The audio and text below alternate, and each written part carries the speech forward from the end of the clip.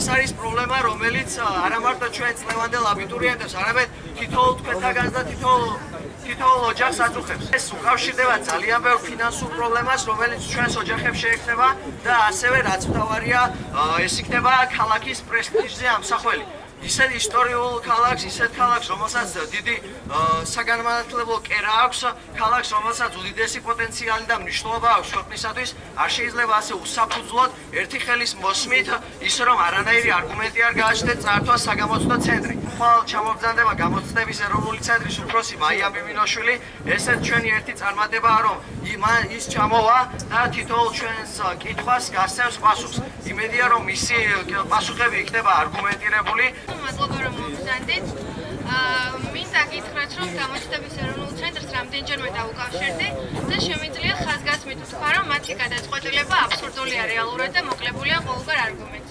პირველად როცა დაუკავშირდით ხელხას მითხრეს რომ აა ის მიზეზი რის გამოც ეს გადაწყვეტილება მიიღეს იყო აა კოჩი გამოჩნდა კოჩი უნივერსიტეტს არ ქონა. რაც არ არის რეალურია რადგან ჩვენ გვაქვს უნივერსიტეტი საქართველოს ახალი საქართველოს უნივერსიტეტი რომელიც 3 წელია ფუნქციონირებს მიღება. შემდეგ მეორე დარეკვაზე მითხრეს, რომ იმის გამო აუქმებენ ეროვნულ ცენტრს, რომ აგრეთებული არ არის და ესეც არარეალური და უსაფუძვლო. მესამე ადგილ უკვე აბიტურიენტების რაოდენობის სიმცირე აღნიშნეს გაუქმების მიზეზად.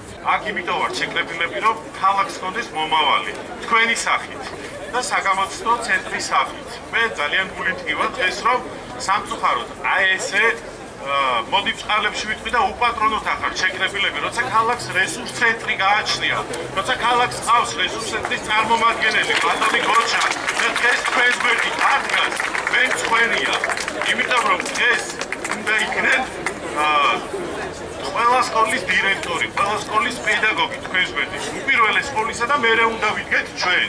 მე გარკვეული ეჭვი მიჩნდება, რომ არც მათ არ სურთ რომ ქალაქში იყოს გამოცდების ეროვნული ცენტრი. მე ყველანაირად გვერდში დაგიდგებით როგორც უბრალო მოქალაქე, როგორც ჩვენი თეატრის მსახიობი და აი ესე ერთობით იმედია დავამარცხებთ იმ უკუღმართობას, რასაც ზუგდიდში გამოცდების ჩაბარება ქვია. ჩვენ შევიკრიბეთ დღეს იმისათვის, რომ გავაპროტესტოთ მომხდარი, ჩვენ გსურს რომ დაუბრუნოთ საგამოცდო ცენტრი ფოც და ეს არის საპროტესტო პატარა აქცია, რომელიც რომლის ორგანიზატორები ჩვენ ბავშვები ვართ და გვინდა რომ სამართლიანობა აღდგეს, გვინდა რომ ისე შეგვეძლოს ჩვენს ქალაქში ჩვენ გამოცდების ჩაბარება და არ მოგვიწიოს სხვა ქალაქში სიარული ამისთვის. არ არსებობს ბრძოლა რომელსაც პრინციპულად მიუდგები და ის შედეგზე არ იყოს ორიენტირებული. მე ვჯერა, რომ ბრძოლა ყოველთვის მოიტანს რაღაც შედეგზე იქნება ორიენტირებული. და რას აკეთებს ხელისუფლება, რომ უკან გადადგმული ნაბიჯია ეროვნული გამოცდების მარტო თავკომბალად თბილისში მოთავსება.